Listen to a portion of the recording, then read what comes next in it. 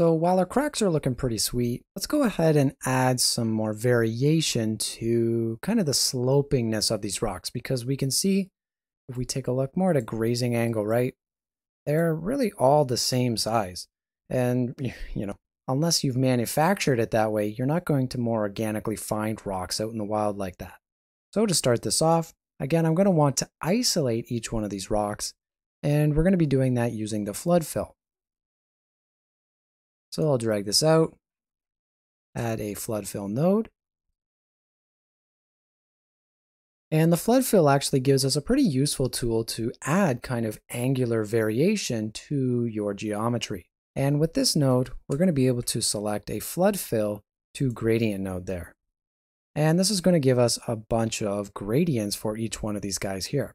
But the really cool thing is we can actually switch this angular variation and we're going to have just kind of random directions for these rocks to stick out of. We can also go ahead and just change the uniform uh, rotation there, but it's really whatever you want it to be. Now I'm going to keep angular variation at 1 because I want them to kind of all go in different directions. I also want to play around with some of the more uh, destruction of the edges and the cascading and all of that kind of effects while working on this gradient.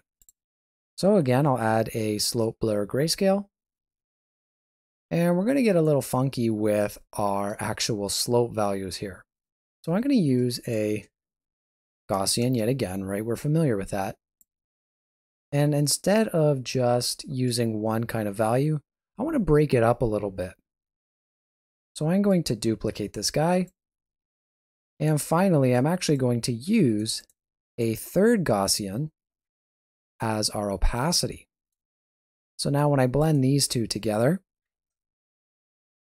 at different sizes, at different disorders, we're going to be able to kind of get just kind of random soft Gaussian noise. So I'm going to bring the size to about something like, let's do 54. Something really, really small, and just give it a random disorder. I'm going to change this one to be something really, really big like 12.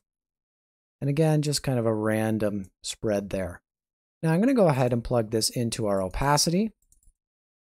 Right, so you can see we're getting larger scale information with some smaller scale. And I'm going to maybe add a histogram scan.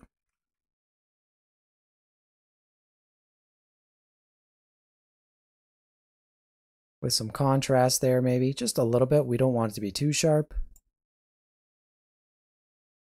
And I'll make this just kind of random. And actually, maybe I'll make it maybe around 10-ish, something like that, right? So that we're going to get some kind of randomness like that. Now what we can do in our slope blur here, bring our samples right up. You can already kind of see, right, where the smaller areas are going to be, where the larger areas are going to be. Bring our intensity way down. And I'm going to switch the mode to be min. That we're going to get some smaller areas, right? Some smaller kind of divots and all that stuff mixed in with some larger scale information. And this is all going to provide us with some slope so that our rocks are going to have this kind of randomness to it. So with that all selected, I'm going to quickly just add a blend over here, plug this guy in, and making sure this is all over top, I'll just plug that in there. And we can quickly just plug this back into our normal and our height. Right, so that we're going to get kind of random directions. Now that's really, really intense. And obviously, like everything, we're going to want to play around with it a little bit more. So for the blending mode, I'm going to want to select min darken, just so it's going to give us some sharper uh, fall off there, right? Some sharper cuts. And I'm going to change the opacity to be something like 0.5. So you can see that we're going to get some random slopes a little bit. Hopefully you can kind of see that on, uh, on the video there. And it's also going to give us some kind of cascading surface effects with kind of a sharp cutoff there. And I'm going to quickly just go ahead and increase the tessellation factor there just so we can see it, right? Really nice sharp cutoff. And if I want to go ahead and maybe play around with you know some of the disorder of some of those cuts, maybe I don't like how big the scale is so I can kind of bring it down a little bit. And we can even go ahead and play around with the intensity to cut away more or do something like 0.4 to cut away less. The next section we're going to look at is developing some more peaks for these rocks to give it a little bit more uh, sharper features or sharper accents on some of the more top faces of the rocks so that we're not just entirely smooth. So to start this off, we're going to be using a cells 1 node. And actually, we're going to be using two of them. So I'll take this guy here, and for variation, I'll just duplicate it. And like we had done for the cracks, I'm just going to use one as a little bit smaller scale information. We'll do about 20. Give it some disorder as well. And for this one here, I'm going to go ahead and make it a little bit larger. So we're going to do something kind of like 16. And again, some random disorder there. So I'll quickly go ahead, blend those together. And we're going to need to figure out a way that we can mask these off. Well, I don't want to go ahead and create new nodes, so instead I'm just going to use one we've already created right back here. And I'll just go ahead and plug that guy in. Now if we take a look, right, we're going to get some smaller nodes or some smaller uh, cells there with some larger cells information. And so now that we've got this kind of initial surface information, let's go ahead and warp it so that we're not just getting these kind of straight values over top of our rocks. So I'll drag this out and add a directional warp. And for this one, I'm going to use, instead of a clouds 2, a clouds 1 node. Again, just to continuously break uh, things up and vary them a little bit. So that we're going to get some distortion like that. Now that's a little bit too uh, kind of intense there. So I think what I'm going to do is do something more around 4 point, let's do about 4.15. So it's kind of wavy, kind of noisy, but it's not uh, too intense. I also want to add some more variation onto this, right, with some of our lines here. So for good measure, I'll drop a Gaussian noise with a slope blur grayscale. Crank up our samples, bring our intensity way down, change the mode to min. And for our noise, I'm actually just going to leave the scale on 32, but just play around with the disorder. So that we kind of get these interesting looking, uh, almost like sharp, faceted kind of rocks almost, right? But instead, we're going to be using these to manipulate the surface of our rocks. So let's just take a look and see what that looks like right now. We'll go ahead and add a blend. And the blending mode that we're going to want to use for this particular node here is going to be divide, right? Because you can see that when we divide it, we're going to get kind of these little peak areas, which are going to be, if we take a look, right, almost inverted, the darker areas are going to be what the lighter areas are. And it's almost going to work kind of counter to how we would think our blending mode is going to work, or at least how we're used to with some of the more uh, standard blending modes. I'm just going to leave that plugged in for now so we can see what we're doing. However, I'm going to do a few more operations to make this look a little less uniform and a little bit more individualized for each rock. So one way we can add individuality is a way that we've already seen, and that's using a vector warp. So again, I'll go and add a vector warp grayscale node and plug this guy into there. And we're going to need, again, a grayscale or a gradient, sorry, vector map. I'm just going to quickly go ahead and control duplicate that guy. And I'm going to use the most updated version of our rocks here. Because if we take a look, right, we can see that this is now taking into consideration some of those uh, angles, those variation uh, angles that we created. And this is going to just, again, kind of propagate in our vector here. So if we take a look, right, rank this way, way, way down. And I'll also just bring this out for organization. We can see that we're going to get some more uh, unique, I'll say, kind of crevices or peaks or whatever you want to call them, really. Surface information, we'll say. So that's starting to look pretty sweet, right? A little bit more organic. I also want to play around with the curve of this to maybe sharpen some areas up. So I can go ahead and add a curve node and just kind of bend this down just a little bit right, to kind of sharpen things up. And finally, I'm going to add a levels node here just to crunch in our black output.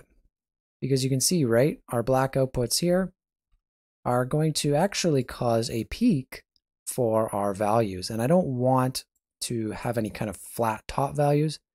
So to remove the peaking, we can just really crunch in the black uh, output there.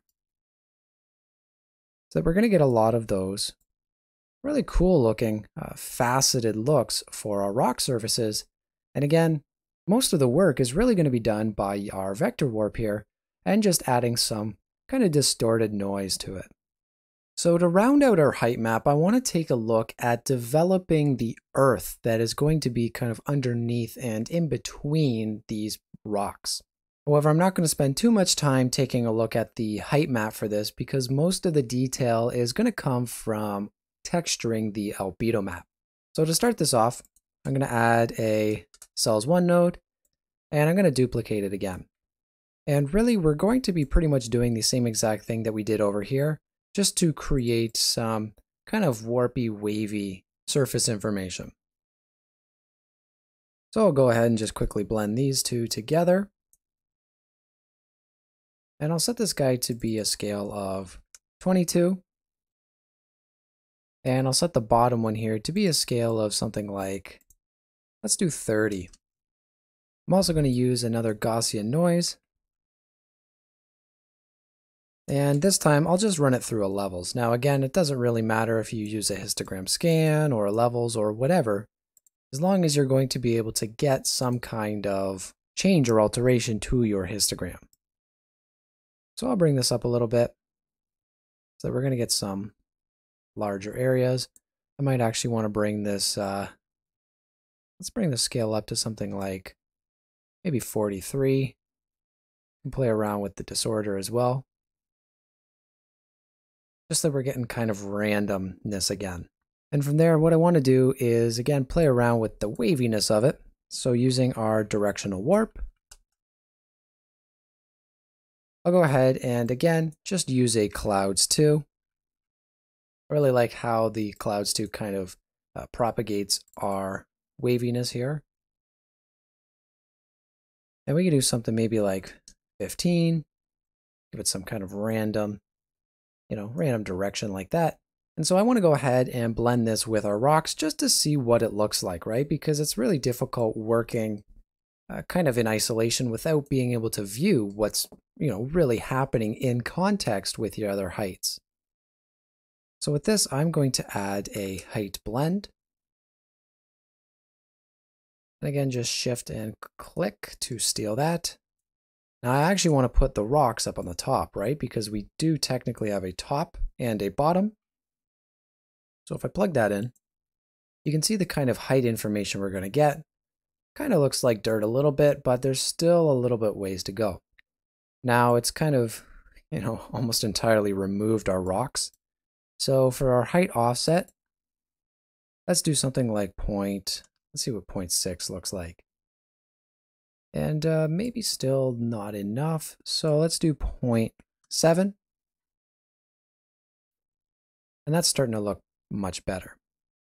I'm also going to go ahead and change the contrast. We can see that right around kind of the rim of these rocks here, there's almost this like cutout of where the rocks are.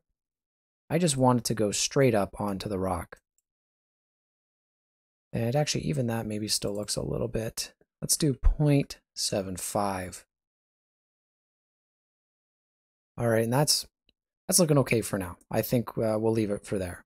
So to add some surface information now to the dirt, which is, you know, looking really smooth, let's go ahead and I'm going to go and add a dirt one node. Right, we've seen this before, just a bunch of different uh, kind of noisy circles and blend this in. So when I plug this in, I'm going to want to use these values to subtract from our dirt. So I'll just go and subtract, and I'll bring this right down to something like 0.0. Let's try 0.05. And uh, that's not too bad. I'll maybe bring the dirt scale up just to two, you know, a little bit, a little bit finer. And I'm also going to go ahead and slope blur this using a fractal sum base node. So again, fractal sum base is just a bunch of grayscale noise, but we actually have some parameters that we can play around with. So if, if we just take a look right up close here, actually, and I'll just bring the samples up and the intensity way down. I'm going to, with our fractal sum base here, bring our max level down. And you can see what that's going to do, right? Is it's basically just going to create larger information. So I'll bring that down to about point, uh, or sorry, just 9, not 0.9, just 9. I'm also going to want to bring the roughness down a little bit, right? The roughness is just going to be kind of the overall uh, sharpness of it. So I'm going to do something like, we'll do point, 0.8-ish make it a little bit softer. And finally, the global opacity. If I bring this up, kind of hard to see what it does here, but if I take a look at uh, other areas, right, we're not really getting that showing up. If I bring this down, right? So this is just kind of a way, if I take a look, to kind of almost remove this effect from certain areas. So I'll do 1.7-ish. And so that's looking okay, but I'm also going to want to go ahead and change in our slope blur here, just from blur to min, so that we're not getting that really, really harsh uh, value for it. I also don't really want that intensity, so maybe something like 0.2, just to kind of sharpen those areas up without taking over entirely. So if we take a look at our material, that's starting to look pretty sweet. And uh, I'd say that's a pretty good start to our height map. In this video, we took a look at completing the height map for the first part of our material, being our rocks as well as our dirt. And in the next video, we'll take a look at giving you some ideas on how you can go ahead and start designing some foliage to be used for this material.